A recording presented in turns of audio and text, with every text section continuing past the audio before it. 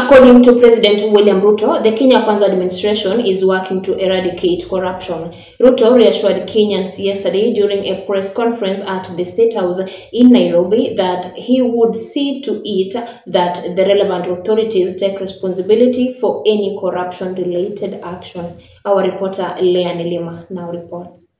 Give the people of Kenya an assurance that our government listens to them. The government has paid attention to the concerns of the youth who have been protesting in the streets for the past few weeks in the hopes of creating a better government. For the last one month, I have led the government in engaging and listening to citizens from all walks of life as they express themselves in different forums. The Gen Zs gave a variety of issues, one of which is corruption, which they believe the president should address impartially and successfully.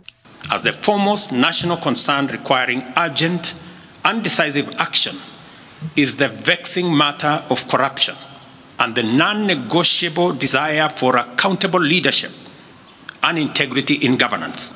However, given that court proceedings might take a long time, how will this be addressed given that delayed justice is a major factor in denied justice? I'll be proposing amendments to the Evidence Act and the Criminal Procedure Code, among other necessary legislative amendments to all statutes relating to corruption, to expedite investigations and prosecution of corruption and economic crimes cases Kenyans have been asked to report any instances of corruption without holding back, confident in the knowledge that the government will safeguard them all and work to eradicate corruption. We'll also be proposing amendments to the Witness Protection Act to overhaul the statutory and institutional framework to protect and incentivize whistleblowers. As time goes by, will the nation eventually see the errors of its ways, or the young people constantly be seen on the streets, holding signs and banners and shouting anti-corruption slogans? Reporting for Tandao TV News Outlook, my name is Leah Nelima.